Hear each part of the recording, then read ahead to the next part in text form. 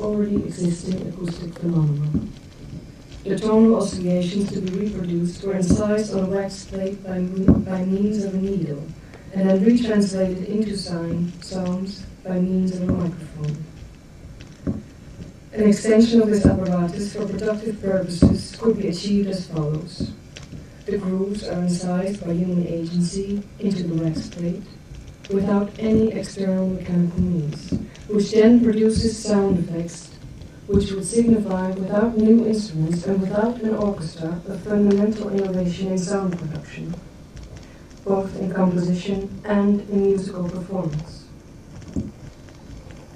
The primary condition for such work is laboratory experiments, precise examination of the kind of grooves, as regards length, width, depth, etc., brought about by different sounds, examination of the man-made grooves, and finally, perhaps, the mechanical reduction of large groove script records.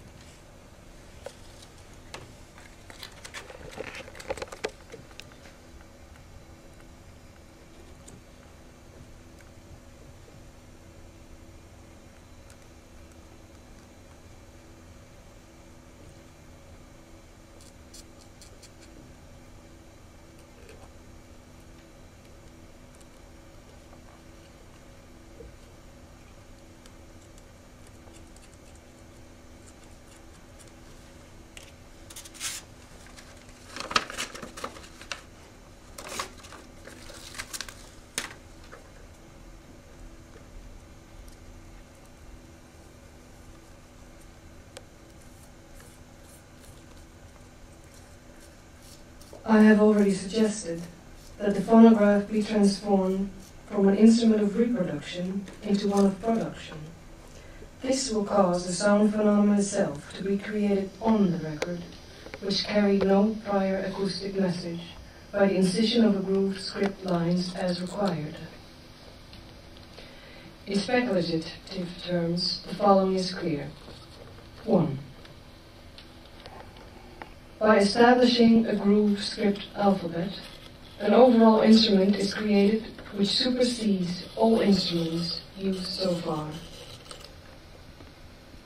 2. Graphic symbols will permit the establishing of a new graphic and mechanical scale, that is, the creation of a new mechanical harmony, whereby the individual graphic symbols will be examined and their relations formulated within rule. 3. The composer will be able to create his composition for immediate reproduction on the disc itself. Thus, he will not be dependent on the absolute knowledge of the interpretative artist. So far, the latter was in most cases able to smuggle his own spiritual experience into the composition written in note form. The new potentialities afforded by the phonograph will re-establish the amateurish musical education of our day on a more wholesome basis. Instead of the numerous reproductive talents who have actually nothing to do with real sound creation in either active or passive sense, the people will be educated to the real perception or creation of music. 4.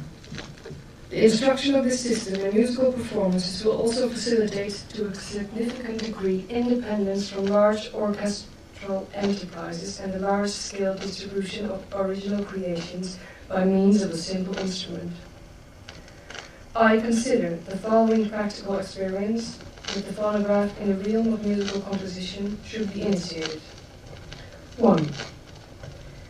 Since grooves in a mechanically produced record are microscopic in size, we shall first have to devise a method for reducing by technological means down to the size of a present-day record any large-scale groove script record that can conveniently be worked on by hand.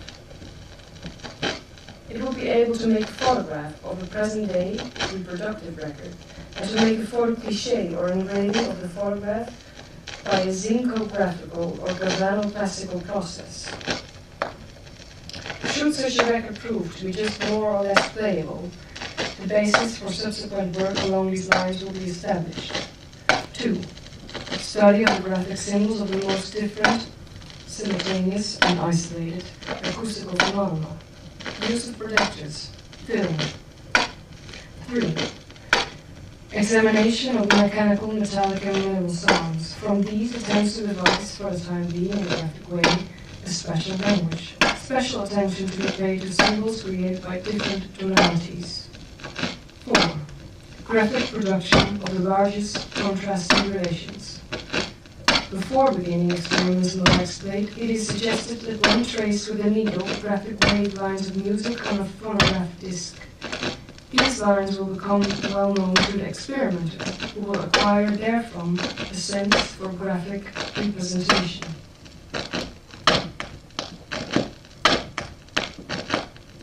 Five,